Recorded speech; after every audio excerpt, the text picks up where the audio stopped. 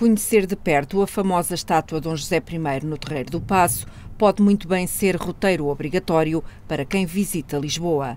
Mas há quem prefira saber o que existe debaixo dela, o ponto de partida para uma visita guiada à rede de esgotos da cidade.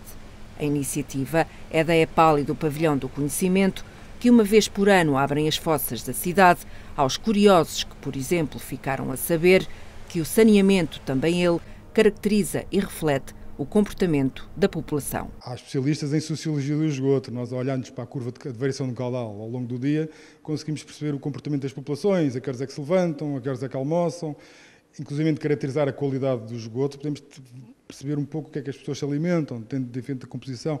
Portanto, há toda uma ciência associada à água residual, que é mais do que uma coisa que nós carregamos no, no autoclismo e ela desaparece, que ela não desaparece. Ela desaparece momentaneamente, é apanhada por umas pessoas no nosso, como nós, que transformamos em algo com valor. Algo que pode ser reutilizado, algo que depois do, do qual resulta, do, do, qual, do tratamento resultam, por exemplo, lamas que podem ser aproveitadas, podendo-se aproveitar para produzir energia, portanto, é muito mais do que uma coisa que a gente quer deitar fora. Pelo contrário, as águas residuais é uma coisa que a gente cada vez mais queremos aproveitar, inclusive para aproveitar alguns componentes que eles têm, recuperar o fósforo que lá está, o fósforo está escasso no mundo. É um negócio recuperar o fósforo. Estamos a desperdiçar a água residual tem fósforo porque não captá-lo. Cada vez mais estamos a começar a, a, aproveitar essas pequenas coisas que a água residual traz e que podem ser aproveitadas em benefício. E o benefício é ambiental, mas também económico, porque se não houver benefício económico, as coisas também não funcionam. Não é?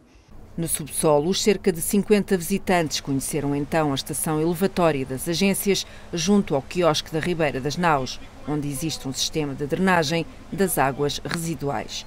O destino seguinte foi o Caneiro de Alcântara, propriedade da Câmara de Lisboa, uma obra estruturante do subsistema de tratamento de esgotos de Lisboa. E se para uns esta visita vai sem dúvida ficar gravada na memória, para outros a memória que tinham de Lisboa nunca mais vai ser a mesma.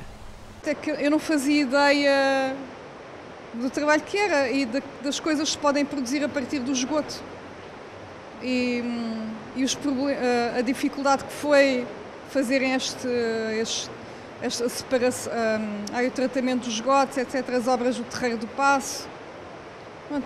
Ou seja, até ao momento tem valido a pena a visita? Ah, sim, completamente. Acho que nunca mais vou ver Lisboa da mesma maneira. Apesar dos uh, certas partes com um bocadinho de odores, isso, mas pronto, mas, mas valeu a pena, sim.